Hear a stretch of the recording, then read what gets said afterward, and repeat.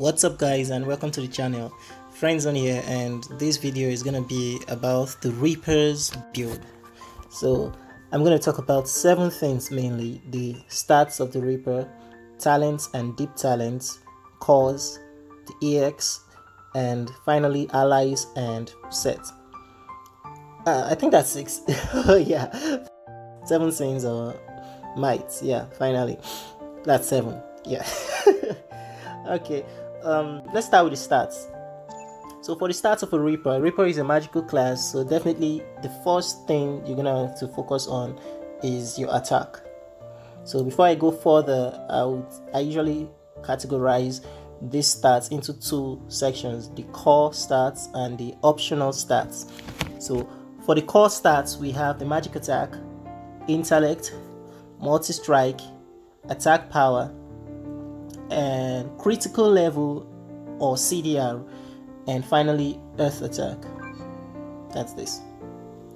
So these are the six six yeah six core attack values for a reaper for me that's what i believe because if you look at your gear yeah there are six one two three four five six so these are the six core values for a reaper the other optional ones can be the cdr the hp physical or magical defense, dexterity, and insight. So, first you focus on the main, the core values, which I've stated, which are on the screen, and secondly and later you could focus on the optional ones. Now you could see on these stats that the Reaper says the system itself says that a main stat for the Reaper is CDR, but this can be worked around but one thing you should know about the Reaper CDR is that no matter how high your CDR is, you cannot, it does not affect the cooldown of your Reaper skill. So no matter how high the CDR is, this skill of let's say 20 seconds cooldown, I guess, will always be 20 seconds cooldown. If you, it doesn't matter if you have a hundred plus CDR or if you have 20,000 CDR, it's always going to be that exact cooldown. It doesn't affect the cooldown. What CDR for Reaper class does affect is the hard points as this blue thing filling up, those blue up. So we'll talk about that later. Let's move on to the talents. For the talents of the Reaper, I only have I, only have I know what you can see three tabs here cat keys Titan Yakuza Demon Chain but these were experimental sections I created for me, I only use this particular one, cat case, both for PvP and for PvE. I don't really care much for any other um, section. That's just the truth for me. For the Reaper, I believe the S level talent should be Cat Tango, which increases your skills, um, increases all your skills damage by 15%, removes cooldown for all your skills, and gives you super armor for 5 seconds. So for 5 seconds you are invulnerable to all control ability. You can spam as much as you want your destruction blast and deal as much damage as you want. And at the end of that you can start your other stuff. So for the A level talent, Shadow Recall, this takes you back to the status you were 4 seconds prior. By status here, they mean your health status. They don't mean your super armor status or whatever status you were 4 seconds earlier. They just mean your health status. An example is if you use Wrath, you lose a little health, and 4 seconds ago you gain back your health. That's just it. So it's quite helpful for PvP especially, even PvE, it could be helpful because there are sometimes boss monsters perform an insane amount of damage, but it might not be at once, it can be together. So it can be changed. So with Phantom Raven, and especially with this Shadow Recall A level talent, you're gonna go back to your previous state. For Cat Keys, it helps you with teleporting, dodging skills, increases your damage for 5 seconds, so it's quite good cat enhancement a lot of people focus more on what's the name destroying chain because they believe that with each destruction blast you perform the damage is going to go up to a total of 60 percent. Add that with cat tango that's 75 percent damage increase for five seconds. But i believe this is better. This gives you a stable 45 percent damage increase. And every time you perform an attack be it a normal attack or a skilled attack you have 50 percent chance to gain two cat essence. Cat essence is this stack over here. You see those two I've counted and I got one this time. I got two this time. Just like that. So each attack you can either get one or get two. This leads to your big second biggest damage as a Reaper, which is Doom Blast. So with Doom Blast, you can deal as high as a million damage for which is for someone as weak as me with 188,000 attack. So you can deal an, a very big damage just like that, or stun. You can also stun your opponent. But if you go for destroy, destroying chain, which I've actually done the maths, I checked it out in um, training arena. This deals like 75% consistent damage for 5 seconds, but with this one i think it's 45% so that's 30% um, difference in damage. But that is made up with you being able to perform doom blast twice while this one will probably only help you do, do perform doom blast once. So doom blast let's say minimum of 1 million damage and let's say you deal 750000 damage normally. So 750000 damage straight up for this. So this with this one you do 1 million but you are unable to perform doom blast you're only able to perform Doom Blast once, right? So you perform this as much as you can. You can see with all my spamming, I'm only able to go a little above half. And yeah, finally one, and I'm out of it. I have to start all over again. But if I were to use Cat's Essence, um, let's wait for the 5 seconds so it's gonna be you know equal all right let's go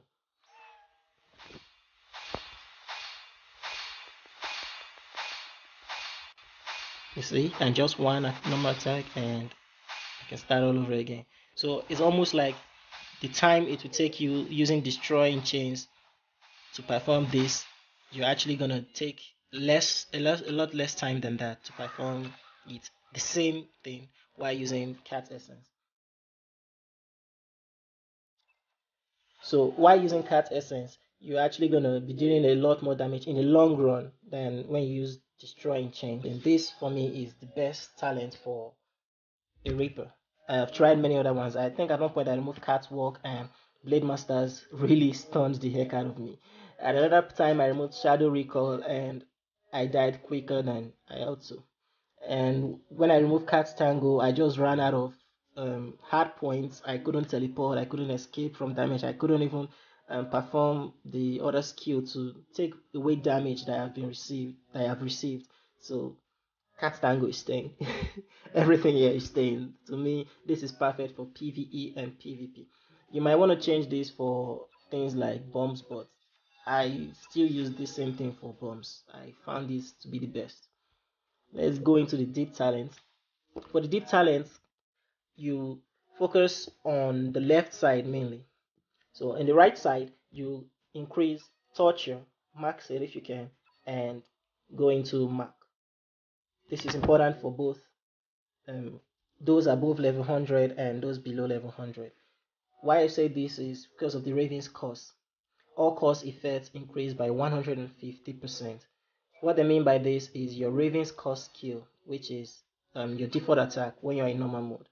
So for each attack, you have a 20% chance to place a curse on your opponents, reducing the damage they deal by 3%, increasing the damage they take by 1%, or reduce their critical rate by 5%.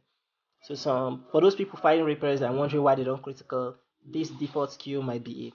But there's actually a lot of people that don't use this skill for Reapers. They focus just mainly on the red skill, you know, the spamming of this and everything. But they're actually missing out on a lot of damage they could be dealing. They could be debuffing their opponents and actually you know, saving themselves from taking a lot of damage. So that that is quite an important deep talent. Then next you definitely have to max mix mist.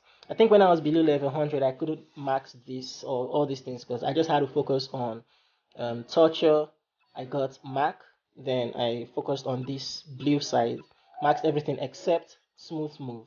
It's kind of useless. The the movement speed increase is not really helpful. I tried it out and at max it is 30% increase in movement speed, but it still didn't show, it didn't show anything like it, I didn't even notice any difference. It was just the same walking style, I guess. So for those below level 100, try and unlock Hunt. Because at that level, the Blade Master's Void cooldown will not be you know as short as those above level 100 because a lot of people here now have insane amount of CDR So with this, you'll be able to stun the Blade Masters. Maybe if you time it properly, you'll be able to stun the other classes as well. But not just stunning them, but dealing an increased damage to them by 9% if you max it. Those higher than level 100, you should increase these same things here. Get this to reduce the damage you receive. Don't touch this. I only did try increasing this to get to um, Waking, but I figured I didn't have enough talent points since I haven't played for two months. I just started the game at the middle of this year. So if you can increase, get to this, sure, but for now, I think you should focus on increasing this torture, mist, mark. Don't touch any of these things. I, they are not really useful right now. Increase your hunt, your nightmare garden to guide you a little against getting feared yourself and the most important talent to me, illusionist. So I'll get back to that. Then the next part you should do in the blue for all levels, both those above and below level 100, is try and max everything in blue. Every single thing in blue except smooth move. I think it's a waste, but if you have more than enough, then definitely go for it. So why I said the illusionist talent is the best for me in the green is because of this skill. Illusionist. Enter stealth when you swap places with your phantom what the mean is quite easy. I've done it in a lot of my videos. So when you're dealing someone as a reaper it's not just dealing damage that's the most important. The most important thing is to make your your opponent not even know which one is real. Make them double guess everything. Put them in kind of like an illusion. So that's my playstyle. The illusionist. What you're gonna do is switch. Create a clone. Move away from your clone so now your clone exists, but whenever you tell switch places with him, you become invisible for six seconds. So you could actually run away, you could actually go to a better location or fight. You could do a lot of things with this playstyle, with that talent illusionist. But you have to use it properly and don't review yourself immediately after you switch places with your um, with your clone. Because if you do review yourself, you're gonna have super armor on you that is when you swap to blue. That five seconds of super armor from cat tango is to be there on you and your opponent will immediately know that he's fighting a clone. So once he does that it's over for you because almost anybody that's quick on the take will just definitely switch targets to you. So in a high stakes battle it's to be quite easy for you to do this. As long as you practice it properly you just do switch clone switch with your clone and you keep fighting. Reaper's Core for those below level 100, you use 9 fire, 5 water, and 2 earth. For those above level 100, 9 fire, 5 water, and 2 wind. So the difference is just the wind and earth. For level those below level 100, earth for the extra defense. Those above level 100, wind for the extra multi strike, and maybe a little health. Alright, then next is the EX. For the EX, I use Netherlight for PvP. For PvE, I also use Netherlight, but I think King Servant is best for PvE, but I'm not really one to switch EXs. like, I mainly just use one for almost everything. That's for my Reaper form. The King Servant boosts your allies, not you, but your allies. For the normal EX, for those below level 100, I'd suggest you use um, Scorch, especially if you have the Whipper, Whispers of the Ancient God rank. Use scorch and Majesty. Scorch has a low cooldown, it can help you your opponent's defenses and help you deal more damage. For um, Majesty, Majesty explains itself. I mean, see 2 million damage without even being in battle and deals increased damage the longer your opponents are there. There's a lot of ways you can get around majesty because when you perform majesty it actually lifts you up. And it keeps you vulnerable for I think 3 seconds while you're casting this skill majesty. So you're quite open to damage and then it gives you a shield which lasts for a couple more seconds I believe. So there's a way to get around that. You could actually use more than one method. The first method is to cast majesty change your skills and teleport away. So now you've got the shield and you can keep attacking that's one way. For the second way, you first make a clone, teleport, cast the majesty skill, switch with your clone. just like that so that's that's one other way to use ex so you've cancelled out the delay or the vulnerability the majesty EX gives you. Now this is for those below level 100 because at that point the majesty skill deals i think about a million plus damage which was the highest damage amongst the other ex being unlocked then. Those above level 100 you use holy judgment because it's as long as you time the right person this skill doesn't miss this ex doesn't miss. And minefield. I have not unlocked minefield but from what i've read and seen this is yeah it's the go-to one. Judgment deals a lot of damage and i believe it deals the highest amongst every ex i am not sure but it deals a lot of damage. The only issue with judgment is the opponent has to be stationary. If it's a quick reflex opponent you're fighting they could just run away from the ex section or if you don't time it well like you've seen in some of my videos my arena videos a lot of my opponents either deals this to my clone or they just miss because i teleport away. So this is not really advice. It might be good against opponents like um, and stars or so but for level 100 i mainly suggest holy judgment and minefield. Those two for any situation i guess. Next we move on to um, smite yeah seven sins and might for the reaper um, i would suggest wrath. Wrath is pretty good. I mean it's just one of them. It takes a little from your health but it deals a lot of a lot of damage to surrounding enemies. The more enemies there are the more the damage is shared amongst them. So if it's a single target they lose a lot of health then you also take damage to your health.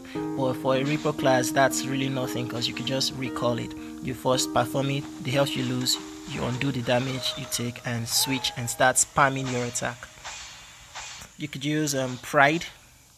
This will reduce your opponent's defense, deals damage to them, and maybe even remove, if you've leveled it high enough, it can remove the effects of other sins like gluttony, like filth, and other stuffs. Then you I, I could suggest envy for those who are on the weaker spectrum like you know like me for those who are not strong enough they could use this to steal attack from their opponents and reduce their opponent's attack. And you could also use filth to bleed your opponents to death. I this is kind of my personal favorite right now.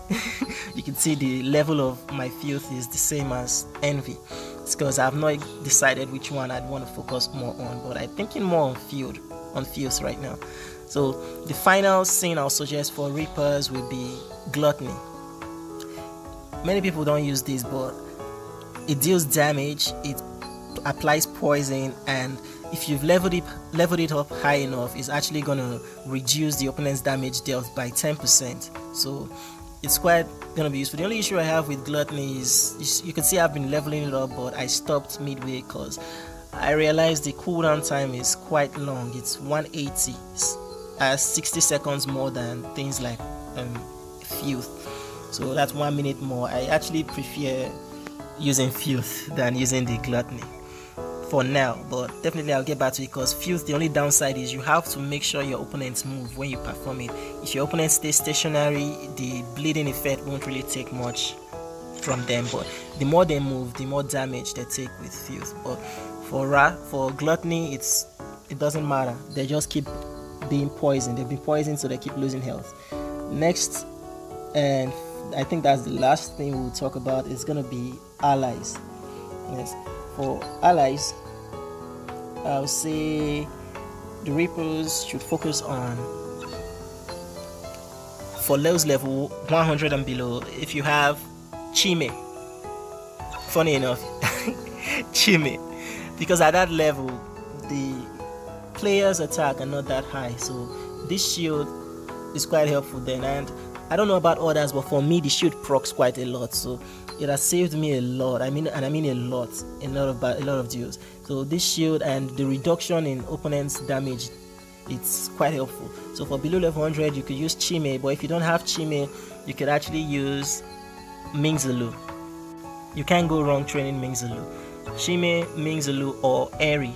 College Eri or the normal Eri. I don't have the other Eris, so I'm not sure about them. So for me, those level 100 and below, Chime, Eri, or Mingzulu.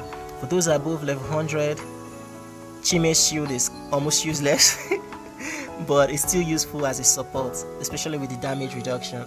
So for those above level 100, your main should be either Eri or Ming or Luminous.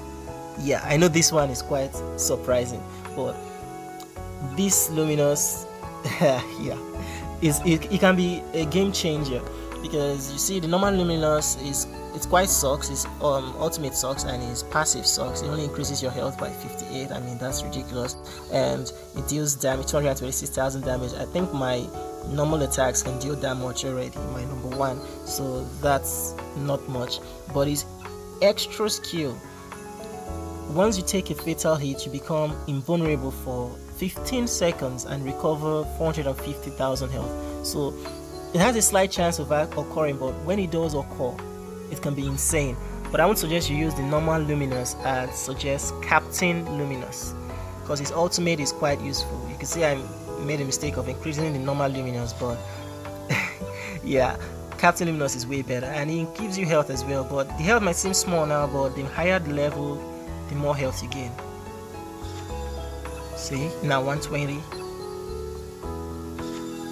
123. So the higher the level, the more health you gain. And his ultimate is kind of like a crowd control and damage skill. So it's quite helpful, especially if you tag this together with something like um, where is it?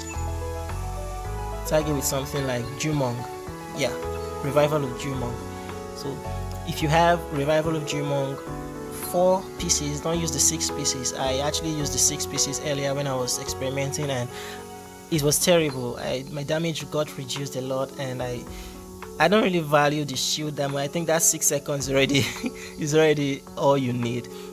Adding the extra shield is just overkill. Maybe for soul dancers it might be helpful, but for reapers, four is enough. So if you have um, this is for those above level 100, of course. If you have Dragon Rider Spear, or if you have what's the name wolf scheme for those below level 100 if you have soto's rage if you have logi scheme you could use any one of these to replace dragon rider spear.